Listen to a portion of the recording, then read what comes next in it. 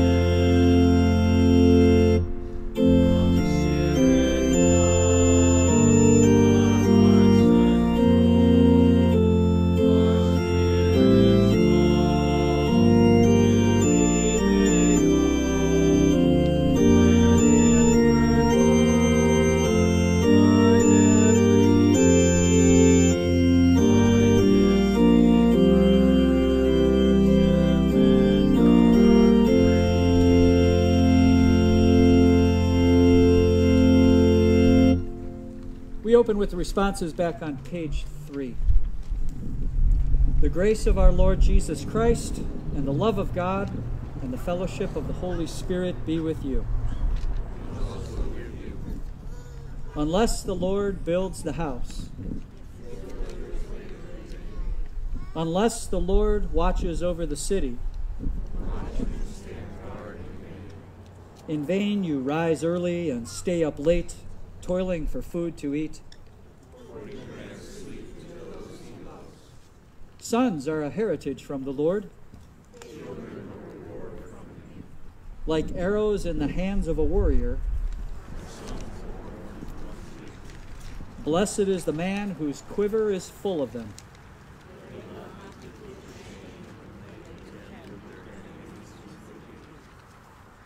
We have come into the presence of God who created us to love and serve him as his dear children, but we have disobeyed him and deserve only his wrath and punishment. Therefore, let us confess our sins to him and plead for his mercy. Merciful Father in heaven, I am altogether sinful from birth. In countless ways I have sinned against you and do not deserve to be called your child. But trusting in Jesus, my Savior, I pray. Have mercy on me according to your unfailing love. Cleanse me from my sin and take away my guilt. God, our Heavenly Father, has forgiven all your sins. By the perfect life and innocent death of our Lord Jesus Christ, He has removed your guilt forever. You are His own dear child. May God give you strength to live according to His will.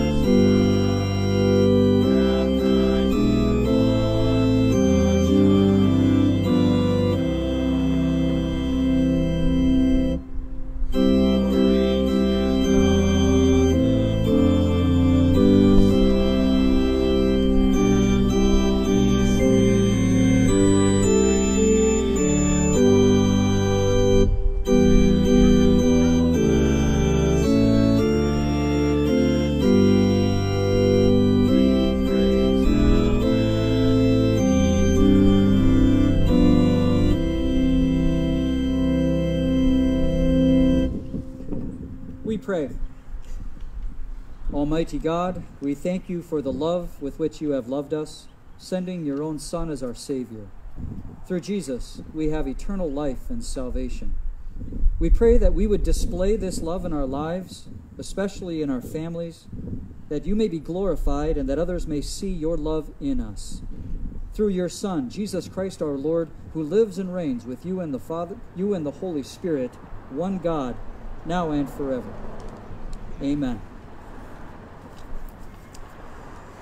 We now turn to our scripture readings today on love and marriage and families. And uh, here we read from Genesis chapter 2, uh, one verse also from chapter 1, the institution of Christian marriage and the family. The Lord God said, It is not good for the man to be alone.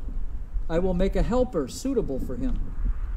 Now the Lord God had formed out of the ground all the beasts of the field and all the birds of the air. He brought them to the man to see what he would name them, and whatever the man called each living creature, that was its name. So the man gave names to all the livestock, the birds of the air, and all the beasts of the field. But for Adam no suitable helper was found. So the Lord God caused the man to fall into a deep sleep. And while he was sleeping, he took one of the man's ribs and closed up the place with flesh. Then the Lord God made a woman from the rib he had taken out of the man, and he brought her to the man. The man said, This is now bone of my bones and flesh of my flesh. She shall be called woman, for she was taken out of man. For this reason, a man will leave his father and mother and be united to his wife, and they will become one flesh. And from chapter 1 God blessed them and said to them, Be fruitful and increase in number, fill the earth and subdue it. This is the word of the Lord.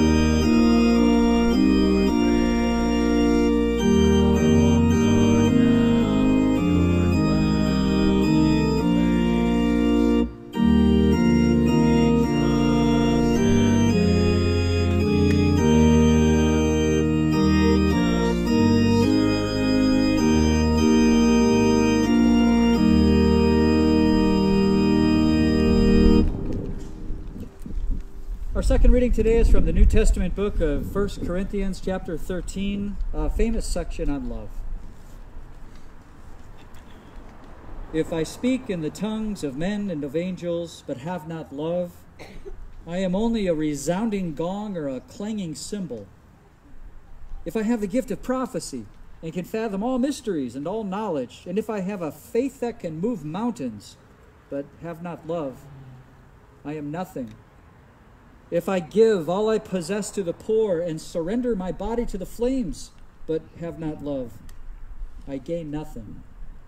Love is patient, love is kind, it does not envy, it does not boast, it is not proud, it is not rude, it is not self seeking, it is not easily angered, it keeps no record of wrongs.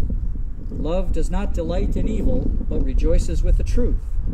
It always protects, always trusts, always hopes, always perseveres. Love never fails. This is the word of the Lord.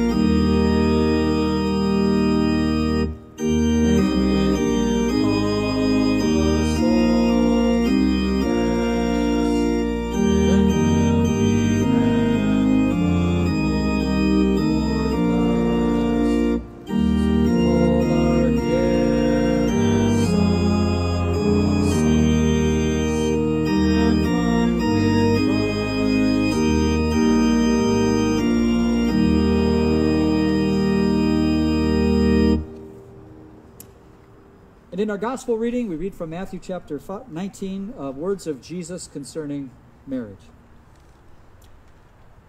Haven't you read, Jesus replied, that at the beginning the Creator made them male and female, and said, For this reason a man will leave his father and mother and be united to his wife, and the two will become one flesh? So they are no longer two, but one. Therefore, what God has joined together, let man not separate. This is the gospel of the Lord. Before we continue with the next hymn, uh, we'll offer a children's devotion at this time.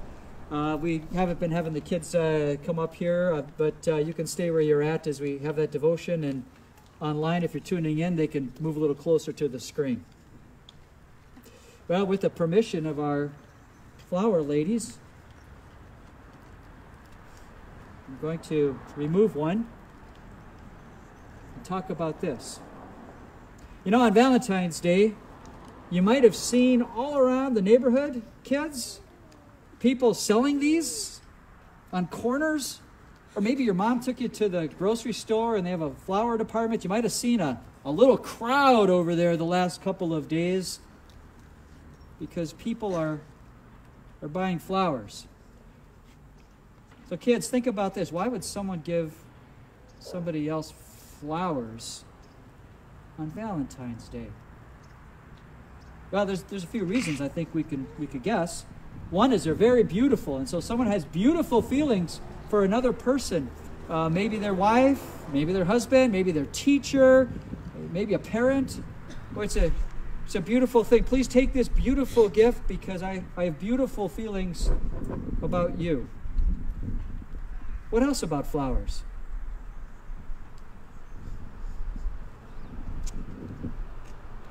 Smell beautiful, fragrant. Maybe we could think of actions.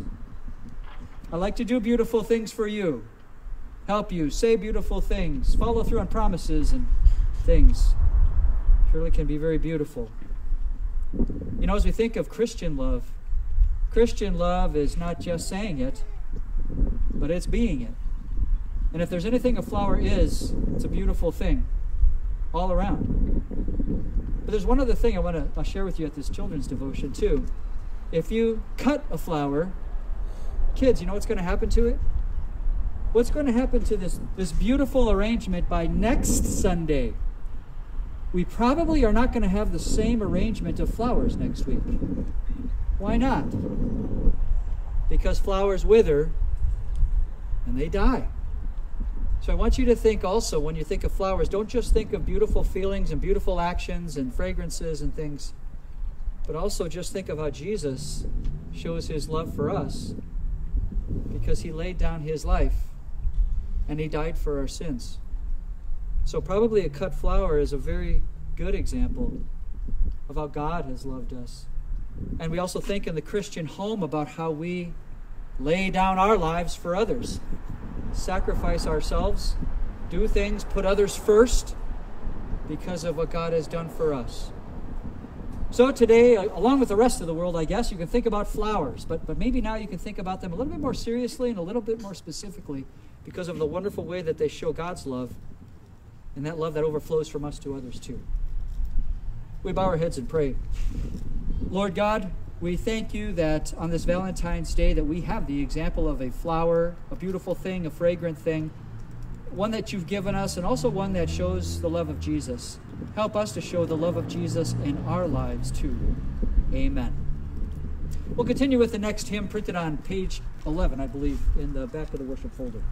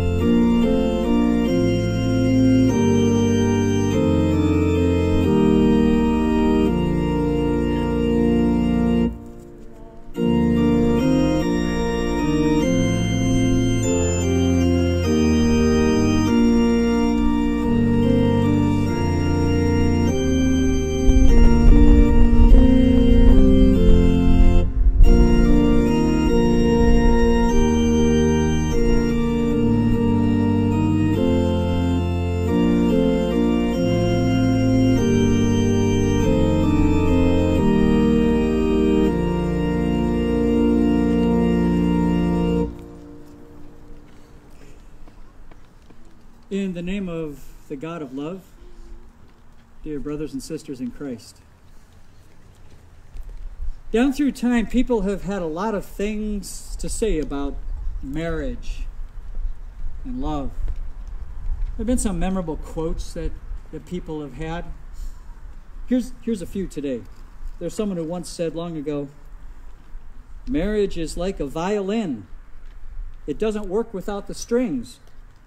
And when the music stops, the strings are still attached. Someone else once said, Marriage begins when you sink into his arms and ends with your arms in the sink. Someone else once said, uh, Keep your eyes wide open before marriage and half shut afterwards. Socrates once said, By all means, marry. If you get a good wife, you will become very happy. If you get a bad one, you will become a philosopher. And that is also good. And finally, uh, someone once saw a sign in a paint store that said, Husbands choosing colors must have note from wives. People have sure said a lot of things about marriage. Marriage is sure a unique institution. I guess some of those quotes, though, might lead a person to ask, why would anyone want to get married? Why would anyone want to do that? We could couple that with uh, pastoral counseling. You know, any one of our guys at our seminary, one of those young students, they, they probably can rest assured that the most counseling that they're probably going to do in their ministry, unless they have a super specialized area, is probably going to be marriage counseling. And then, what about the cost? What is the cost of a wedding? I looked that up this week. The average cost of a wedding in the United States in 2019 was about $34,000. Average wedding. So why why would anyone want to get married? Today that's a great question. Especially on Valentine's Day. We're going to take a look at God's Word in Genesis chapter 2, which was our first reading for today, and we're going to be encouraged.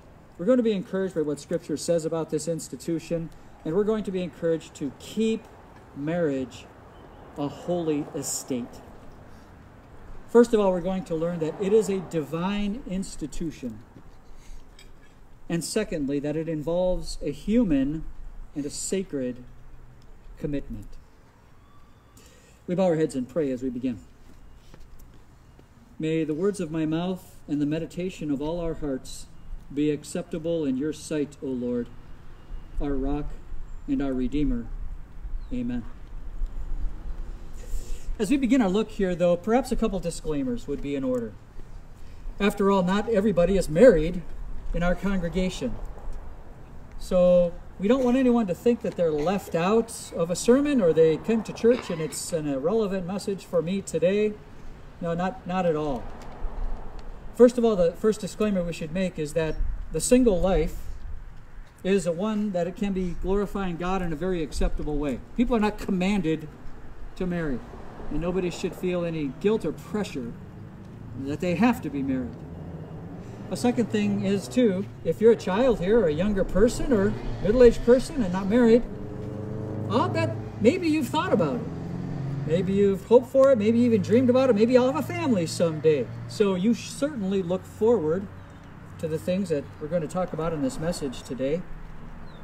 And I think whether you're young or whether you're old, whether you're married, whether you're a widower, whether you're in any stage of life, we, we all support marriage and speak up about it. And so we all want to know what God says about marriage as we do that. So, with that said, we look in Genesis 2, where our reading began. The Lord God said, It is not good for the man to be alone. I will make a helper suitable for him. Now the Lord God had formed out of the ground all the beasts of the field and all the birds of the air.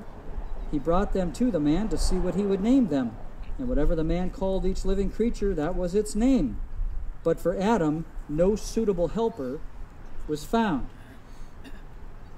God's institution.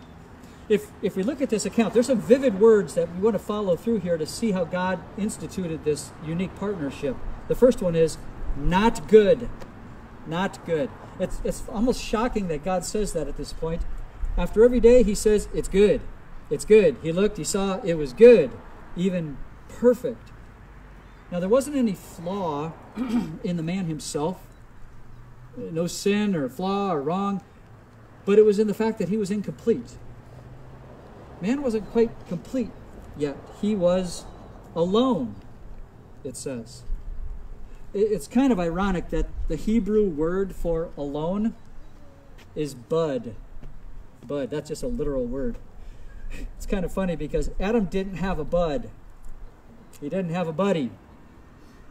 The thing that was wrong is he was Bud. And as he looks at the creatures, he's going to see that. In us, we are made social creatures, aren't we? I mean, even if you like a lot of alone time and quiet time, you would be missing something if you didn't have the interactions of family and society. And, and God wants Adam to know that too. And so, what does he do? He goes through this process of having him name all the animals. Boy, that shows Adam's perfect intelligence. Could you name all the animals? And Adam, Adam names them. But the point is, he doesn't have a bud out there. He is bud. Adam was not created as an animal. Man was made distinct from the animals, and he is not going to marry an animal. No, God's going to do something special so that the first purpose of marriage would be fulfilled. The first purpose for the marriage relationship is companionship, friendship, and that love.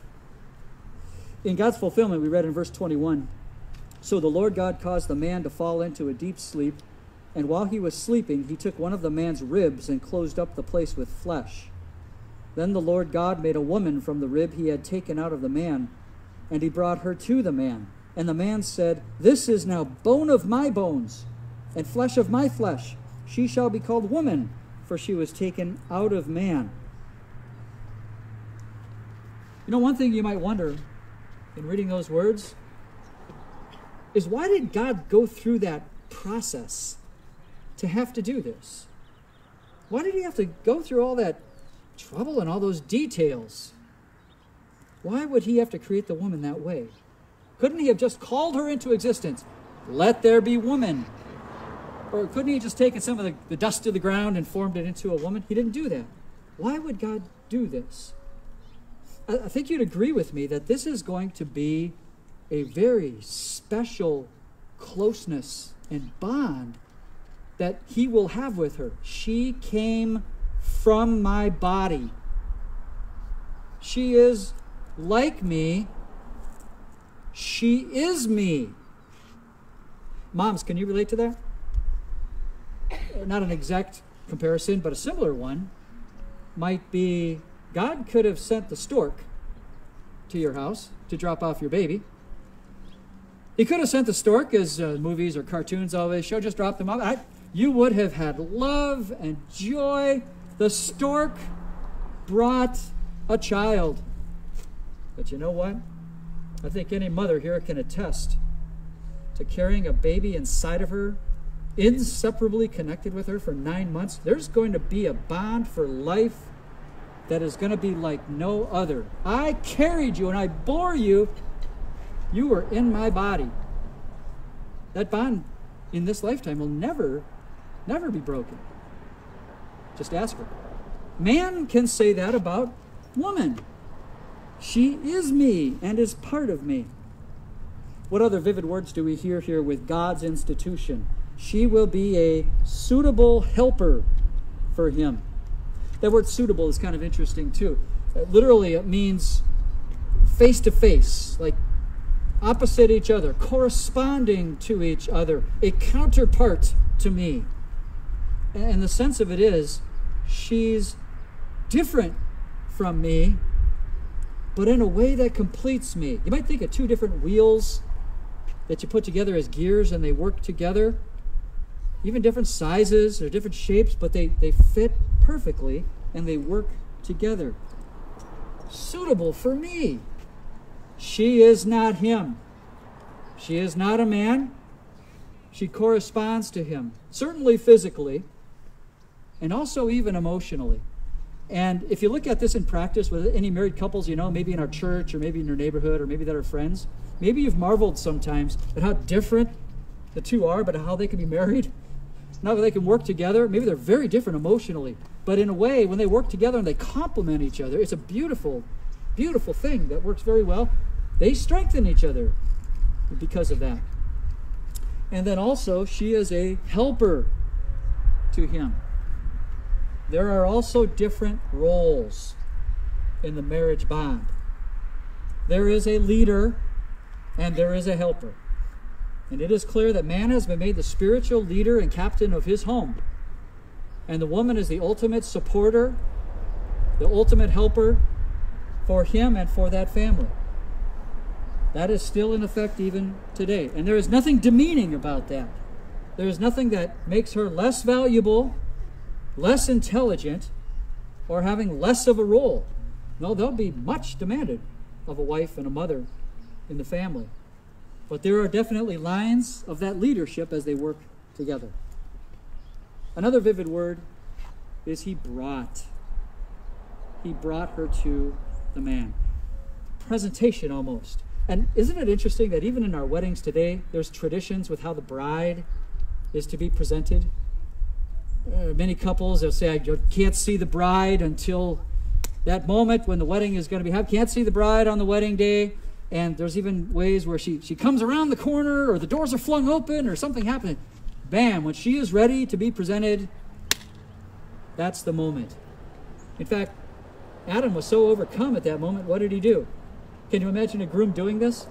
He, he was so overcome, she's presented to him, and he breaks out in a song. I don't know if your husband did that for you, wives, uh, when you got married. He, he breaks out into the first love song that we have in Scripture.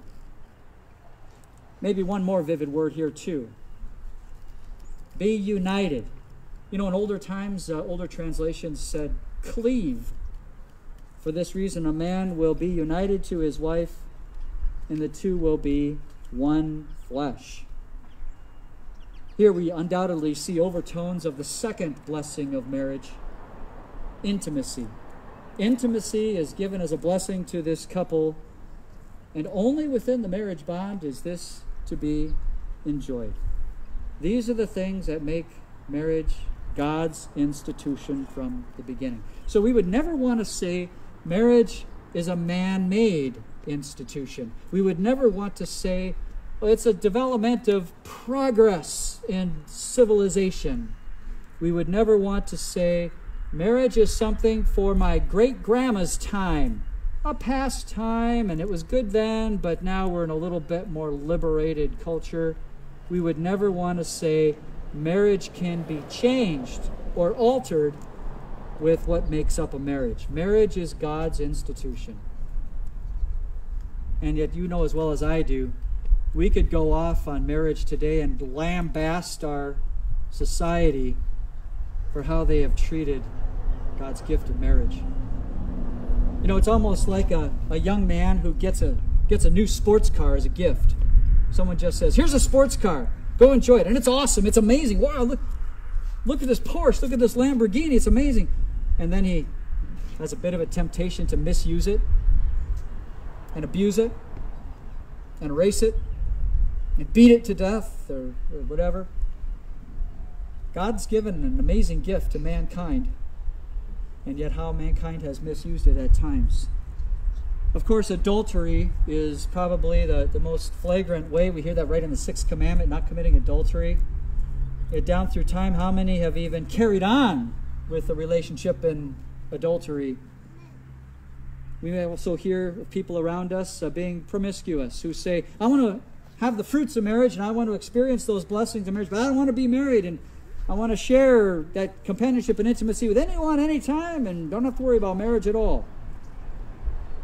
Down through time, there have been men who have followed the custom of their day and have taken a number of wives. In fact, even some Bible believing men were tempted to do this back in Bible times with disastrous results. Dirty material, dirty pornography is all around us and more accessible than ever before at any time in history, I think.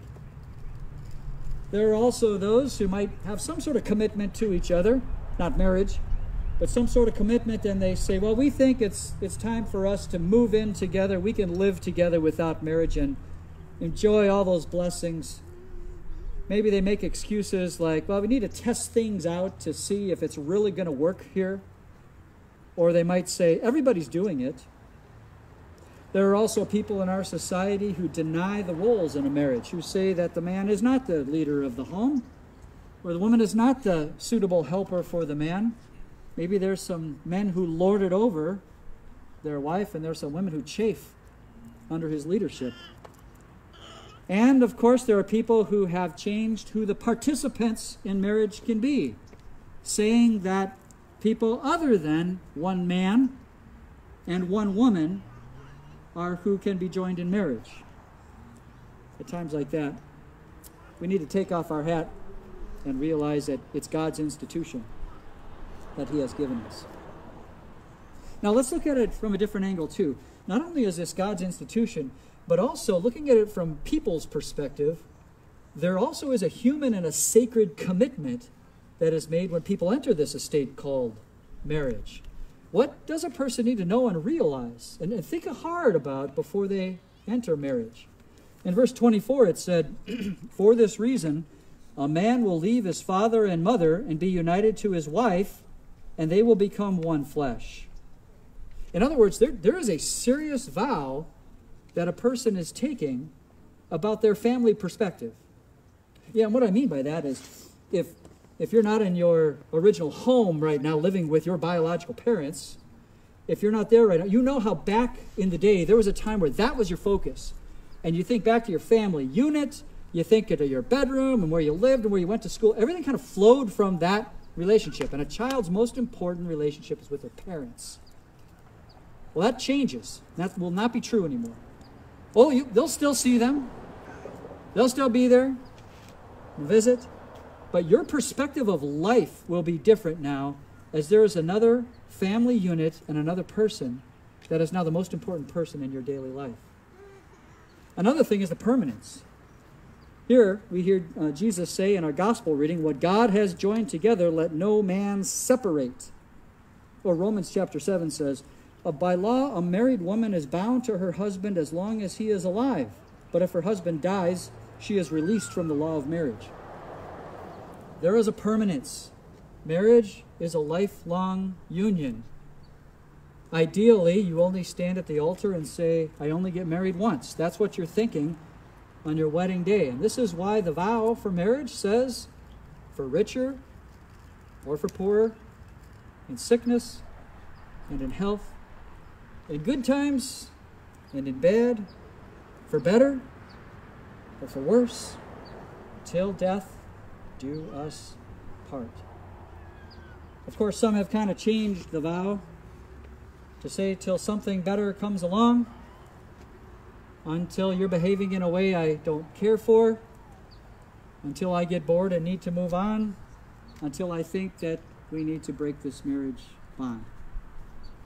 We never would want to say that, and how sad it is that there is almost an easy type of divorce that you can get today. One last thing with the human sacred commitment that we make, I think we see it in Adam's song that he sang. That song at the beginning was supposed to continue. That courtship, the nurturing, the relationship was to continue. Is it always that way? You know, husbands, uh, it says in 1 Peter chapter 3, Husbands, be considerate as you live with your wives, and treat them with respect as the weaker partner and as heirs with you of the gracious gift of life, so that nothing will hinder your prayers. We also hear in Ephesians 5 husbands ought to love their wives as their own bodies. He who loves his wife loves himself. Husbands, are you considerate and loving towards your wife this way every day? Are there times where the courtship ebbs? Are there times where you forget or become tunnel visioned, where the courtship is lost and not spoken? Are there times where your harshness and your pigheadedness might run ahead and not be considerate of your wife? Husbands, we all need to take a lesson. And then to wives, it says in Proverbs chapter 21 Better to live in a desert than with a quarrelsome and ill tempered wife. Wives, are there days where you're a bit ill tempered? Are there days where you're a bit quarrelsome? Where you have chafed in the relationship that you have with your husband, your spiritual leader? Are there days where you have not been the godly supporter that God has made you? You know, as we think about those things, and as we think about the sins of society too and sins of the past, we might be depressed on Valentine's Day. But we can't we can't end here because this is not a depressing message and marriage doesn't end on a depressing note. There could be some sadness, there could be some guilt, but hold it, God God has some good news for you and it's very interesting that God's good news to us is given in the illustration of marriage with how he looks at us. In fact, in the New Testament, it says in Ephesians 5 Husbands, love your wives just as Christ loved the church and gave himself up for her to make her holy. The love of Jesus is pictured as an ideal husband's love sacrificial, laying down his life, loving his people and his church more than himself. So when the guilt comes, when the sadness comes, and when failure comes, look to Jesus who showed the perfect husband's love. He died for you. Through him we're forgiven. Through whom marriages, him marriages are renewed. Through him there are new starts. Through him there is forgiveness. And it's very interesting at the end of time in the book of Revelation, if you've ever read about the culmination of everything in heaven, how is the church presented to Jesus? as the bride of Christ, beautifully dressed in the robe of righteousness that He has provided to be happy forever. The picture of forgiveness and salvation is pictured in a marriage relationship, a spiritual relationship with our Savior Jesus. And this is going to be the motivation in your home and in your life for forgiving each other, for cherishing each other for striving for unity together, for building each other up, for rejoicing every day, and for working hard at your marriage and your family. So, finally, uh, who would ever want to get married? We, we've heard jokes, we've, we've heard the quotes. Well, it still is a wonderful blessing and still is the core of society that God has given us. Proverbs 18 says, He who finds a wife finds what is good and receives favor from the Lord. So may we keep marriage as a holy estate. May we realize it is God's institution that cannot be changed and, in fact, is a great blessing for all of mankind. And may we realize what a human commitment it is in our own marriages or whether you counsel and, and support others who are married or, or speak up for it. And we pray that God would lead our world to realize what true marriage is and to honor it and be blessed through it. Amen. Now may the peace that surpasses all human understanding keep your hearts and minds in the true faith to life everlasting. Amen. On the top of page 8, let's confess our faith with the words of the Apostles' Creed. I believe in God, the Father Almighty, maker of heaven and earth. I believe in Jesus Christ, his only Son, our Lord who was conceived by the Holy Spirit, born of the Virgin Mary, suffered under Pontius Pilate, was crucified, died, and was buried. He descended into hell. The third day he rose again from the dead. He ascended into heaven and is seated at the right hand of God the Father Almighty. From there he will come to judge the living and the dead. I believe in the Holy Spirit, the holy Christian church the communion of saints, the forgiveness of sins, the resurrection of the body, and the life everlasting. Amen. As uh, we do on Sundays, we're not taking a formal offering with our group, but there is a uh, offering plate on the right side of the canopy here if you'd like to leave an offering at our worship service today. So we'll continue with the prayers and the Lord's Prayer. Uh, we offer a special prayer for Judy Laterman who is the mother of Mary Sanchez. And uh, she is very weak and uh, undergoing many health issues at this time. We pray for her. Lord God, marriage is most pleasing in your sight, for you have ordained it for our good, and you have promised to bless us. We ask your blessing, therefore, upon all the married couples in our congregations, whose hearts you have brought together in love. Give them richly of your Holy Spirit, so that they build their marriage on faith that continually looks to you for forgiveness and salvation, for health and protection, for guidance and help, as well as for every needed thing. May our married couples and also may married couples around the world build their marriage on unselfish love for each other, a love that seeks to imitate your own love for them. Help them to fulfill their vows to remain faithful at the side of their spouse through sickness and health, through good times and bad. Help them to endure life's sorrows and to cope with life's hardships, ever being sources of strength and encouragement to each other. Do not allow their faith to be shaken in times of testing nor let them resent their crosses that sometimes accompany marriage, but draw their hearts ever closer to you and lend your grace to forgive any hurts caused by the others. We also pray that all of us would support Christian marriage no matter our station in life. We pray for those who have been widowed among us that God would provide them with friendship and companionship. And we also pray for those seeking marriage that you would lead them to a wonderful partner that would fulfill these marriage promises to them in this life. Also, merciful God, according to your promise, you will never leave or forsake your believers. We pray that you would be with Judy Laterman at this time, be her shield and strength, overcome all the temptations of Satan in times like these to war against her soul and faith. Use this occasion to purify and strengthen her, and the good work that you have begun in her keep to the very end. Let her never lose sight of Jesus' cross and of you as a loving and merciful God who is ever present in her time of need and to whom she may go in the day of trouble for deliverance. We pray for her, Lord God, and for the family as they support her at this time. Hear us also as we pray together as you have taught us. Our Father, who art in heaven, hallowed be thy name. Thy kingdom come, thy will be done, on earth as it is in heaven. Give us this day our daily bread, and forgive us our trespasses, as we forgive those who trespass against us and lead us not into temptation, but deliver us from evil. For thine is the kingdom, and the power, and the glory, forever and ever. Amen. We sing the hymn on pages 12 and 13. Thank you.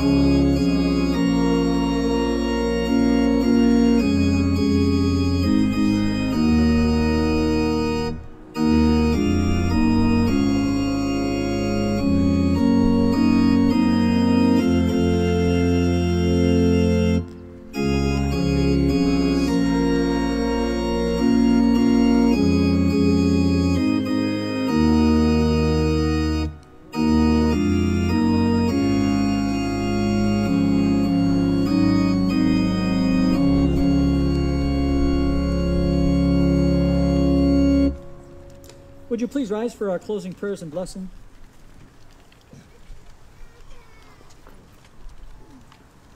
O Lord God, our Heavenly Father, pour out the Holy Spirit on your faithful people.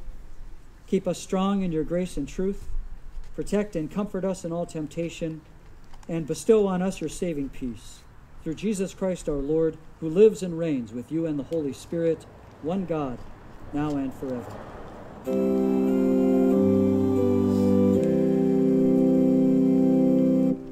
Brothers and sisters, go in peace. Live in harmony with one another. Serve the Lord with gladness. The Lord bless you and keep you. The Lord make his face shine on you and be gracious to you. The Lord look on you with favor and give you peace.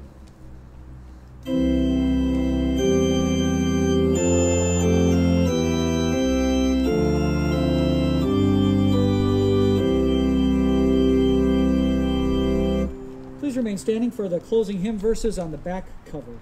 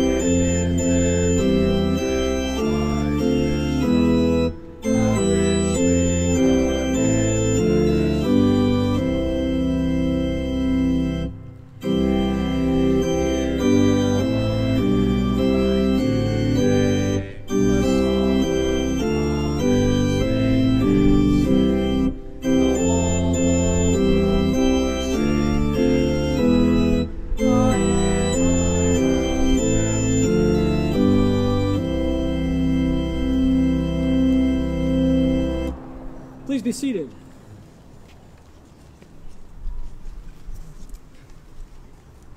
Good morning again. Wonderful to be here today with you, uh, worshiping our Lord. And uh, boy, what blessings we've had on Sundays with our dry weather and uh, being able to gather together. We thank Him for that. Just a couple notes. Uh, first of all, there are Valentine goodies over on our treat table there, individually packaged. Please enjoy those today. There's also hot chocolate over there, so uh, make sure you go over and check that out as well. Thank you to our wonderful uh, saint of a volunteer who uh, provided those for us this morning. A second thing is that this is the WELS, the Wisconsin Synods, I guess you'd call it the marriage primer. It's a thin paperback, but there's a lot of good stuff in here. Uh, I feel that every every married couple should have this in our congregation and synod, building the Christian home. So we have eight copies of those, and we'd like to give one to any married couple here today. They're on the stand over there by the bulletins. We'd love to provide them free of charge. Our cost for them for the book and for shipping is about 10 bucks. If you'd like to take one and return that at some time, fine. If you want to just take one, fine. This is this is good to get out to any married couple. Read it, go through it, go through it with your spouse. You will only benefit from it.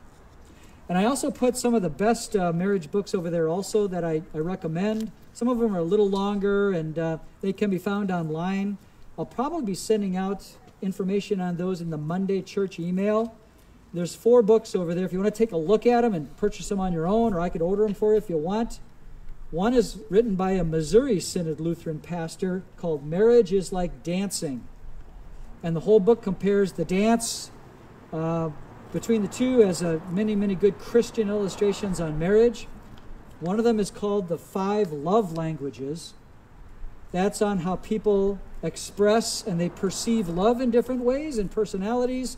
And uh, it's very interesting to know as you're married to someone who might not have the same personality exactly as you. One is called Men Are Clams, Women Are Crowbars. And uh, that's about the genders, how men and women emotionally can be wired differently. So if that's something of interest to you with your marriage, the, the male and female and how they work together sometimes. And the final one over there is called um, Deepening Love for Marital Happiness, I think. Another, it's a longer book, kind of like this. Check those out. Get one as you'd like, or I'll order one for you if you want. And then finally, Lent begins this week. This week we have a special Ash Wednesday service. Check out the details in the bulletin. The newsletter said it will be outside in the afternoon so we could have communion in person. We are now allowed to gather in person inside with regulations and modifications. So we will be gathering inside, and uh, 6:30 we're going to have church on Wednesdays inside. We're going to have Holy Communion and the imposition of ashes this Wednesday evening to begin. We will also be online if uh, you don't care to wear a mask and be in God's house. And uh, we're also going to have a small choir that's going to sing the music to us, as that's an issue too, uh, still, even despite the Supreme Court's uh, decision. So look for information on that. Ask me if you have any, but that'll be in our announcements as well. But that begins Wednesday. Any other announcements? Oh, we should know. The lemons. The Stutzes brought lemons. They're over there in a box. Take a bag, take a box, take some along. They'd love to share with you today. And God bless the rest of your week.